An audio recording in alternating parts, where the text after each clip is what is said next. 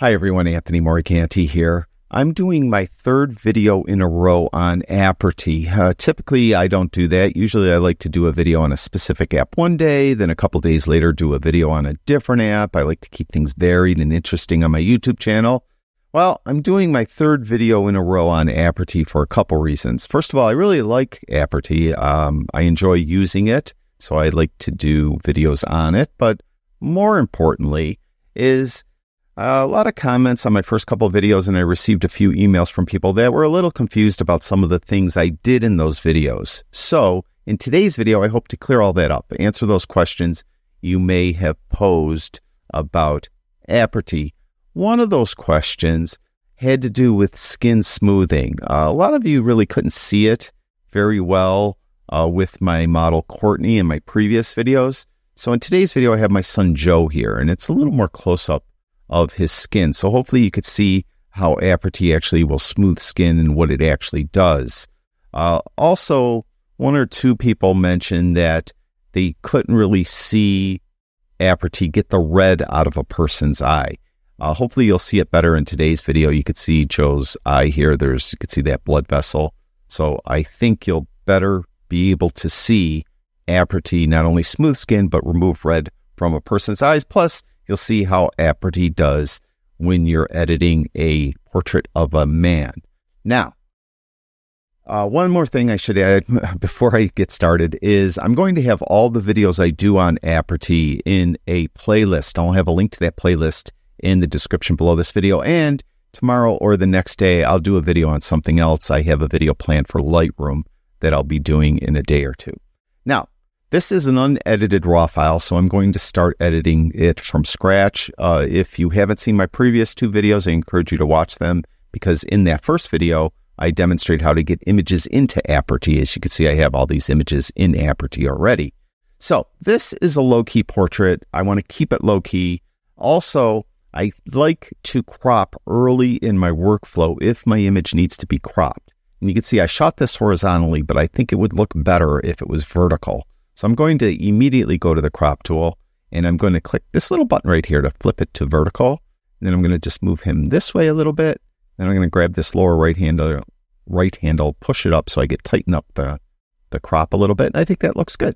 So we're going to jump out of the crop tool. I'm going to commit to that crop by just clicking on the essentials panel. So we're now in essentials. Now, I going to edit this like I edited those other two images in my previous video. Video, I'm just going to come in and do tone first. Uh, I want to keep it low key as I mentioned, so I'm going to take highlights all the way down. I don't want to open up shadows, obviously, so I'm going to take those down even more. Now, I could get a white and black point as I did in those previous videos by tapping the J key and getting the clipping indicators, but I think that's just going to confuse things because I really want this to be low key. Uh, if I come in and adjust whites, I'll probably get some red coming through, but that's not really helping me. It's, it's just kind of confusing the issue. So I'm going to turn the clipping indicators off by tapping the J key again. And instead, I'm just going to edit it by eye. So I even want to bring uh, whites down a little more and bring blacks down a little more. So something like that. Now, I'm really done with the Essentials tab, at least for now. I might jump back here, maybe increase saturation or do something else, but I don't want to do anything with curves color right now, black and white. I'm going to keep it in color or anything like that. So I'm going to jump right over into this panel, which is the retouch panel. Now, several people commented they they really couldn't see how well Aperty like removed blemishes uh, in my previous video because it was hard to see Courtney's face, I guess. Uh, here in post production, I'm going to zoom in on his forehead. I'm going to take this blemish removable slider and I'm just going to move it up to like 10, around 10. There's 11. You can see what it did. All right. So here's before. I'm going to zip this slider back down to zero. There's before, and there it is on 16. There's before, and here it is on 10. Okay, so you get an idea of how powerful this slider is it really does a, an excellent job of removing blemishes. Now, if you have a person that has freckles and you want to remove the freckles, you can move this slider to the right. He doesn't really have freckles, but if you wanted to do that, you could. Another thing people commented on, they really couldn't see how details worked. I mentioned that if you do remove blemishes and it smooths the skin too much, It doesn't look natural. You could bring back some of the detail, some of the pore detail with this detail slider by moving it to the right. Now, again, in post production, I'm going to zoom in on his forehead again. And here is with details moved to the right. And here is details moved back towards the middle. You can see what it does. Okay, move to the right and then back towards the middle. All right, now if you want to kind of wipe out pore detail a little bit, you can move this to left. I'm not sure how often you might want to do that, but you could do that if you need to. I'm going to leave it right where it was to begin with in the middle at 50. Don't need to do anything there. Now, skin smoothing is more subtle of an adjustment than blemish removal. You won't see as much happen here. So if I take this one and I move it to 50, you can see what it looks like. There it kicked in. All right. So again, I'm going to zoom in. So there it is at 48, technically. I'm going to take it all the way down to zero. There it is at zero. I'm going to move it back to around the middle. There's 50. Then I'm going to move it back down to zero. So I'm going to keep it right around 49. leave it right there. Again, if you want to bring back some detail, go to this detail slider, move it to the right to bring back some pore detail. So there it is at 100. And here it is back at around 50, 100, and then down around 50. Now, if I was doing this, um, you know, for an ad or something, I might want to remove this little mole here. I would use the eraser tool for that, but I'm going to leave it. As I mentioned, usually when I do my editing, I try to remove things that are temporary, like zits, blackheads, um, dry skin, stuff like that. Uh, anything that's more permanent, I tend to not want to remove. So I would leave this. So in that case. Now, face, skin color correction, you're not going to see much here. Um, I haven't seen much in experimenting with this version of Aperty. Again, it is the beta version. So when it is released later this fall, I anticipate that it's going to work better and faster than I'm showing you in this video. And I think face color, face skin color correction is mainly if you have someone with blotchy skin and it will help even it out. And you can see here it's not doing much. He doesn't really have blotchy skin. Dark circles removal, he doesn't have any dark circles at all. Um, but if I move this to the right, you can see it's actually trying to even out the lighting under his eye here. So I don't want that. I kind of like that, like little splash of light right there. So I'm going to leave it. It is a low key portrait, so I really don't want to brighten his face. So I'm going to leave that down does have some shine in here. So we'll move the shine removal to the right.